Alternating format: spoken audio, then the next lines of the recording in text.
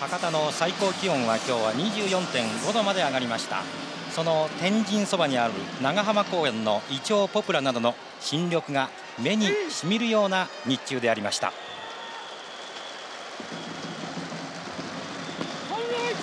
思わず背伸びをするようななんかそんな過ごしやすいいい日中でしたよね。そうでしたね。ええ、掛布正幸さんの解説でお伝えしてまいります。薮対そしてバッターボックスは松井です。このところ10日ぐらい風が抜けなかったんですがまだちょっと咳き込むようですがだいぶ体調は良くなってきました。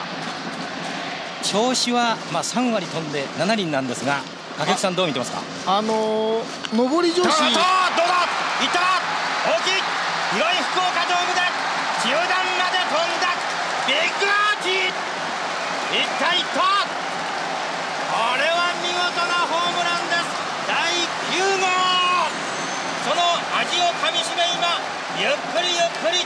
これまでよりも時間をかけてゆっくりホームイン。いや掛布さんのコメントをもらおうと思ったんですが いきなり出ました。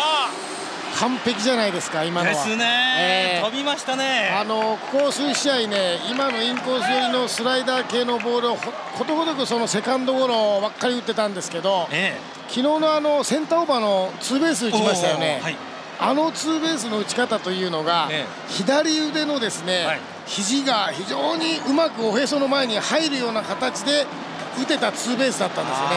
ですから昨日のお待たせいたしました。バッターは3番ライト松井。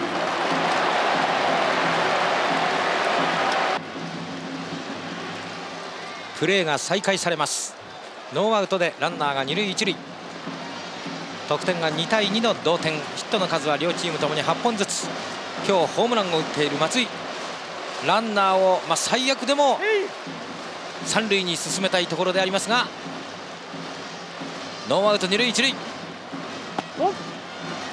初球はボールです。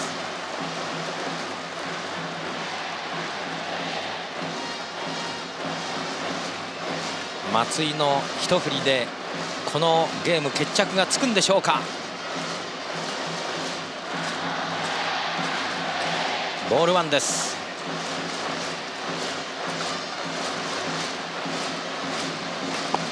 これはストライク。ワンエンドワン。何か福岡ドーム全体が騒然としてきた感じであります。2対2の同点。今日ホームランを打っている松井です。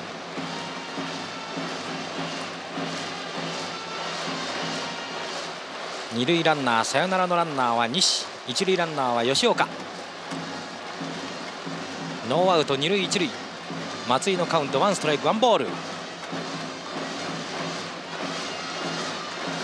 さあセットポジションに入った古溝。ワンツー。嬉しくなりました古溝です。しかし表情は変わりません。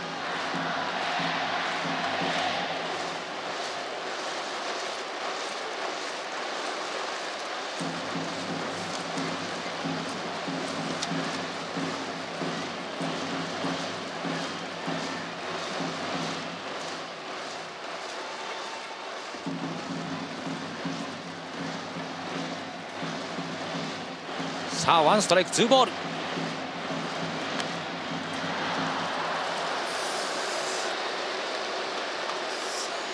ツーストライクツーボールです。4球目決めることはできませんでした。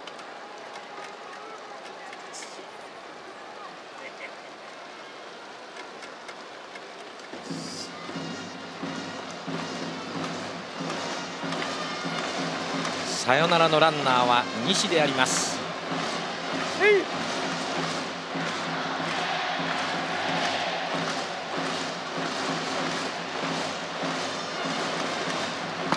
これでツースリー。アウトコースいっぱいボール。ツーストライクスリーボール。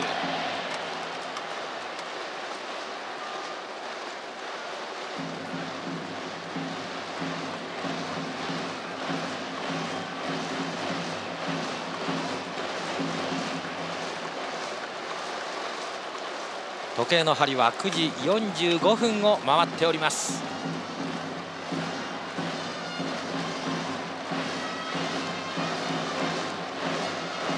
さあラストボールです。ノーアウトでランナーが二塁一塁。サヨナラのランナー二塁ランナーは西。長いサインの交換。まだ決まりません。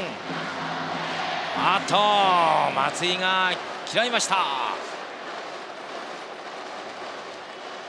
松井が嫌いました。ボックスを外しています。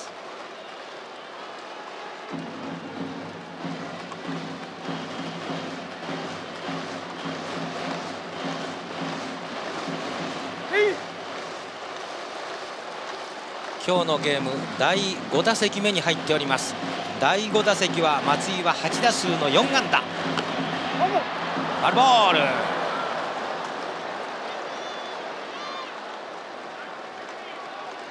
必死でファールで逃れたという松井であります。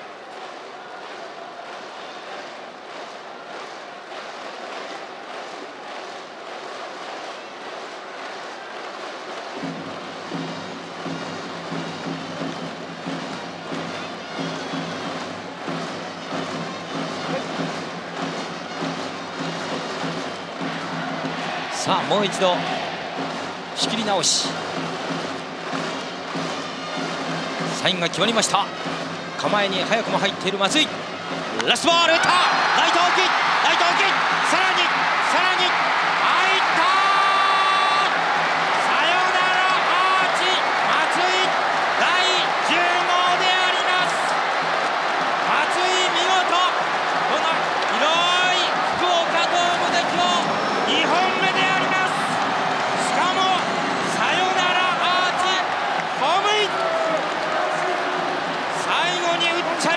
巨人が見事なホームラン。大喜びの長嶋監督です。10回の裏決着がつきました。見事見事ホームランで一振りで決着をつけた松井であります。得点が5対2結局この巨人阪神の11回戦は5対2をもちまして巨人の勝ちであります。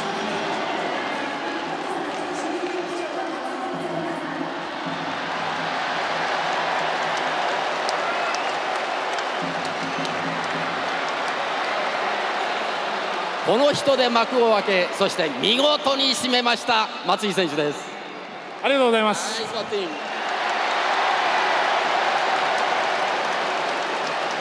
まずあの第9号先制のホームラン。あれでそのままいけばもう完璧に素直にヒーローだったんです。ね途中でおかしくなりまして。いやでもねあのこういう広い球場でホームラン打てるとすごい本当気持ちいいですし。あの第9号は完璧でしょ？ええ完璧でしたはい。そして最後にああいう場面で随分あの途中中断がありましたよね。どうでした？うんあんまり気にはならなかったですけどでもまああのーまあ、あの気持ちをしっかりと入れ直して、まあ、打席に入りました。しかしまああの場面で飛ばしましたね。あ ありがとうございます、はい、これもいいホームランでしょ？ええあのーもうほとんど完璧ですね。はい。あの場面で本当はあのヒットでも何でもいいんですが決める大ホームラン10号うんまあ今日は本当に運が良かったです。ありがとうございます。あの福岡の皆さんにもいいプレゼントができました。そうですね。あの1年にねあの1回しか来ないですし、まあ、そういう意味で本当に今日は、まあ、いい試合ができてよかったです、はい、さあこれで貯金が1つ2つ3つ増えていきまして次は広島です。えあのーまあ、まだまだこれから、ね、まだ上にチームがいますので、まあ、勝っていけるように、ね、連勝していけるように頑張ります。はい、この調子で広島に行ってくださいはい、頑張ります。どうもありがとうございます。松井選手です